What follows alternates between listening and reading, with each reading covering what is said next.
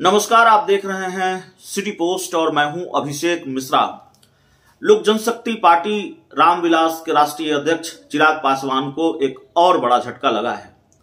चिराग पासवान के लिए झटके वाली खबर है और ज़ाहिर तौर पर पार्टी के प्रदेश अध्यक्ष इस्तीफा दे दे तो कितना बड़ा झटका है, ये बताने की ज़रूरत नहीं है। तो चिराग पासवान की पार्टी के प्रदेश अध्यक्ष ने इस्तीफा दे दिया है। उत्तर प्रदेश से उत्तर प्रदेश का मामला है। यूपी लोजपा रामविलास के प्रदेश अध्यक्ष थे मणिशंकर पांडे और उन्होंने आज अपना इस्तीफा लोक जनशक्ति पार्टी रामविलास के राष्ट्रीय अध्यक्ष चिराग पासवान को भेज दिया है।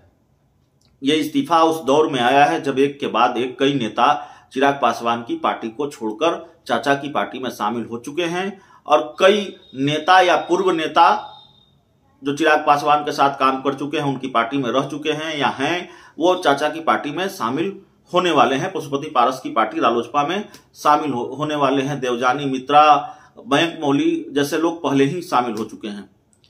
तो मणिशंकर पांडे ने इस्तीफा दे दिया है। यूपी के प्रदेश अध्यक्ष रहे हैं यूपी लोजपा रामविलास के और मणिशंकर पांडे यूपी की सियासत में एक बड़ा नाम रहे हैं।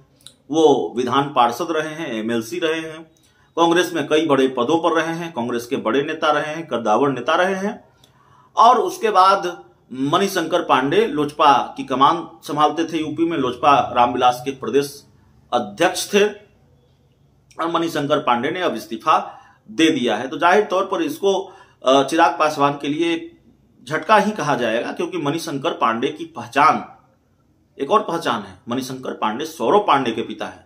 सौरव पांडे जो चिराग पासवान के रणनीतिकार हुआ करते थे अभी। अभी वो थोड़े साइडलाइन हैं अभी थोड़े दूर हैं पार्टी से और चिराग पासवान से।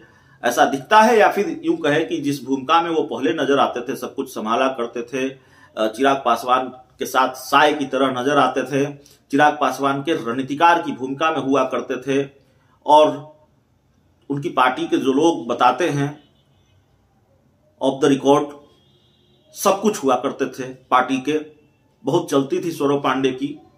तो अभी वो साइडलाइन है। तो एक तरफ़ पहले दरकिनार किए गए सौरभ पांडे या दरकिनार हैं सौरभ पांडे साइडलाइन है, और दूसरी तरफ़ अब उनके पिताजी और लोजपा रामविलास के प्रदेश अध्यक्ष यूपी के मणिशंकर पांडे इस्तीफा दे देते हैं।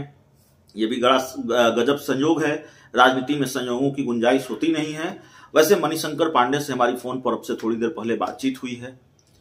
हमने उनको बताया कि आप पूछा उनसे कि आपने इस्तीफा दिया है। उन्होंने कहा, पार्टी का संविधान तीन साल से ज़्यादा प्रदेश अध्यक्ष पद पर बने रहने की इजाज़त नहीं देता। तीन साल होने को है, मेरा कार्यकाल खत्म हुआ, मैंने इस्तीफा दे दिया है, इससे ज़्यादा कुछ भी नहीं। बहुत बहुत धन्यवाद।